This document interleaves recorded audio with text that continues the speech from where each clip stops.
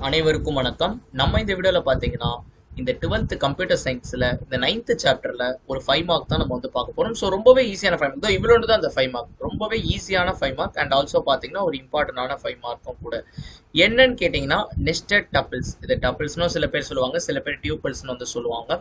So அதுக்கு முன்னாடி பார்த்தீங்கன்னா நம்ம சேனல்ல பார்த்தீங்கன்னா இதே மாதிரி பார்த்தீங்கன்னா கிட்டத்தட்ட முப்பது ஃபைவ் மார்க்குக்கு மேலே நம்ம வந்து டீச் பண்ணியிருக்கோம். அதாவது எல்லா புக் பேக் ஃபைவ் மார்க்கும் லைனாக நம்ம ஒவ்வொன்றா நம்ம வந்து சொல்லித்தரோம். அந்த வீடியோவை பார்த்தாலே போதும்.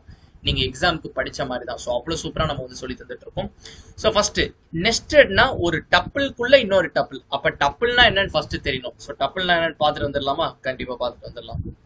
ஸோ டப்பிள் பார்த்தீங்கன்னா அதுக்கு முன்னாடி சாதா ஒரு பைத்தான் ப்ரோக்ராம் தான். நம்ம டப்பிள்னா என்னன்னு பார்க்கலாம். ஸோ டப்பிள்னா ஒன்றும் இல்லை. ஒரு கலெக்ஷன் ஆஃப் எலமெண்ட்ஸ் உதாரணத்துக்கு பார்த்தீங்கன்னா டென்னு டுவெண்ட்டி தேர்ட்டி ஃபார்ட்டி ஃபிஃப்டி இது இருக்குது.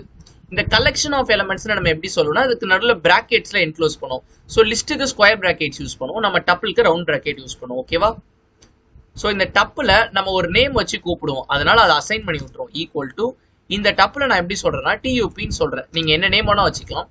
இப்போ இந்த டப்பில் நீங்க பிரிண்ட் பண்ணணும்னா ஜஸ்ட் பிரிண்ட் டியூபின்னு கொடுக்கலாம். ஓகேவா கொடுத்துட்டீங்களா?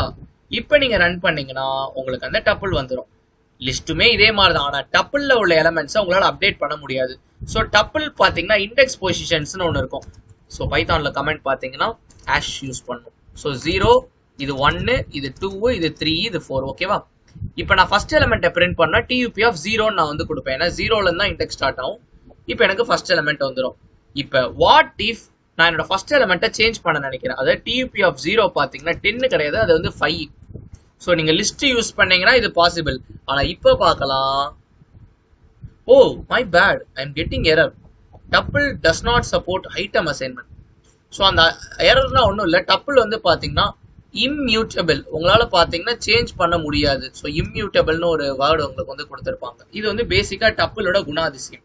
ஸோ எல்லா எலமெண்ட்டையும் நீங்கள் பிரிண்ட் பண்ணுறதுக்கு உங்களுக்கு இன்னொரு லாஜிக்கும் இருக்குது. என்னன்னு கேட்டிங்கன்னா ஃபார் லூப் யூஸ் பண்ணலாம். ஃபார் ஐ இன் டியூபி அந்த டப்பில் இருக்க ஒவ்வொரு எலமெண்ட்டும் பிரிண்ட் ஐ ஸோ இந்த ரெண்டு வேலை நீங்கள் வந்து பிரிண்ட் பண்ணலாம். இது லைன் பை லைனாக உங்களுக்கு வந்து ஃபெச் பண்ணி கொடுத்துரும். Ten twenty thirty forty fifty ஓகேவா இப்போ நம்ம பார்க்க போகிறது nested tuple so nested tuple என்னன்னு பார்த்துட்டு வந்துடலாமா? A tuple can be defined inside another tuple அதான் நான் அப்பயே சொன்னேன் ஒரு டப்பிளுக்குள்ள இன்னொரு டப்பிள் இருக்கும். ஸோ இந்த நெஸ்டட் டப்பிளில் ஒவ்வொரு டப்புளுமே ஒரு இண்டிவிஜுவல் எலமெண்ட் தான். ஒரு டப்பிள்னா என்ன? அதுக்குள்ள எலமெண்ட் இருக்கும். டென் டுவெண்ட்டி தேர்ட்டி நெஸ்டட் டப்பிள்னா இது இங்க பாருங்க இந்த எக்ஸாம்பிள் டாப்பர்ஸ் இந்த வெளியே இருக்க பிராக்கெட் பாருங்க.